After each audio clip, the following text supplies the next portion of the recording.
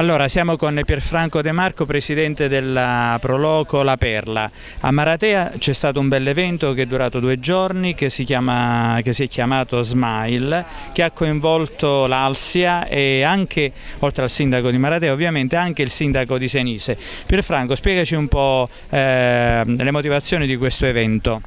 Allora noi siamo partiti dal cercare come ogni anno un modo per promuovere al meglio Maratea. Quest'anno con eh, la collaborazione con due organizzazioni, l'Almadela Produzioni e la Twin Communication, la Proloco di Maratea ha ideato questo prodotto Maratea Smile. Eh, si è diviso in vari eventi. Eh, lei, direttore, ha parlato di, Maratea, di, di Smile Food, quello che è avvenuto eh, domenica eh, pomeriggio in piazza Sisini, cioè l'incontro tra l'Arsia, la Proloco, il comune di Maratea, il comune di Senise il comune di Rotonda su quello che è la valorizzazione dei prodotti tipici nell'area sud della Basilicata. In realtà Maratea Smile è partita dal giorno prima con un concorso di talenti legati al cabaret chiamato ehm, eh, Smile Talent. Questo, questa iniziativa andrà in prima serata su Nuvolari TV e su altre televisioni eh, locali sul circuito Sky, quindi è per noi un motivo di eh, promozione forte di Maratea. Ha avuto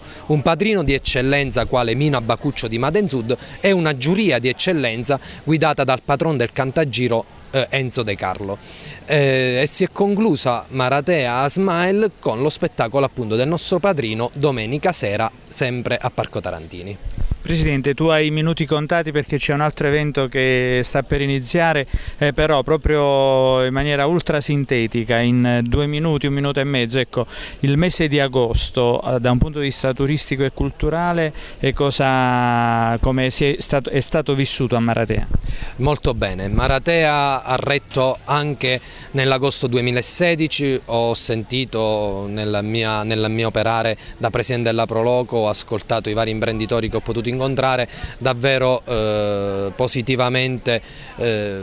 su questo sul mese di agosto, eh, i dati sul mese di agosto. Forse il problema eh, resta lo stesso che è quello di provare a destagionalizzare. Ognuno di noi con i propri compiti, eh, dall'amministrazione agli enti superiori, alle associazioni di promozione di Maratea come può essere la Proloco, dobbiamo essere bravi ad invitare e a canalizzare il turista anche dei mesi che non siano legati all'altissima stagione come appunto agosto. L'effetto Matera eh, si sente con eh, maggiore forza?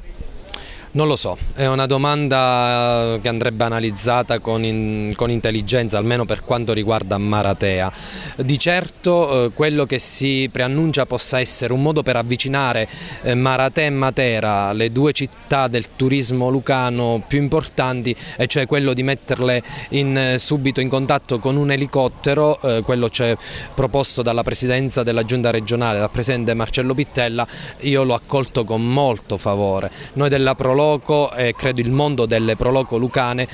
sarebbe interessantissimo fare la propria in un rapporto quindi di, di accoglienza del turista che arriva con l'elicottero e, e, pone questo scambio Maratea-Matera e viceversa e promuovere non solo le due città ma tutta la Basilicata. Ecco, per eh, concludere Pierfranco, l'estate c'è una canzone che diceva l'estate sta finendo, ecco, e, e, quale... Ehm, eh, diciamo, mh, mm, a, a, livello esperienziale, no? quale, quale eh, situazione è accaduta che ti ha insegnato qualcosa quest'anno, magari che ne so, un errore da non ripetere, una iniziativa invece magari da rafforzare perché ha funzionato bene?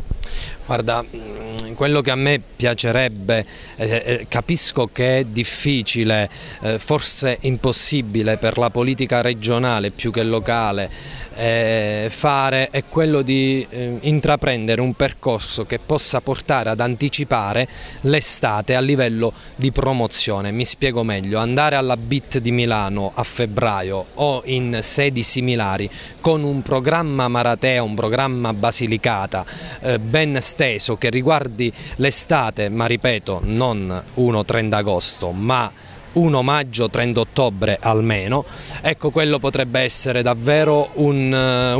un'opportunità reale per l'imprenditore turistico, per uh, il lavoratore, per uh, la città di Maratè e per l'intera Basilicata. Per concludere sappiamo del premio Nitti che ci sarà all'inizio di ottobre, mi pare il primo ottobre, e una bella iniziativa perché davvero Maratè ha avuto questo privilegio di poter eh, ospitare eh, una personalità politica importantissima. Certo, è un'opportunità, quello io personalmente continuo, continuo, a battere sul concetto della qualità, eh, questo, questo, che citi è sicuramente un, un eh, programma che rientra nelle, nelle, nei prodotti di alta qualità e credo che la, la qualità porti qualità, cioè il turista che arriverà sarà un turista attento a, al bene che ha davanti, perché Maratea è un bene non solo perché ha spiaggia e mare,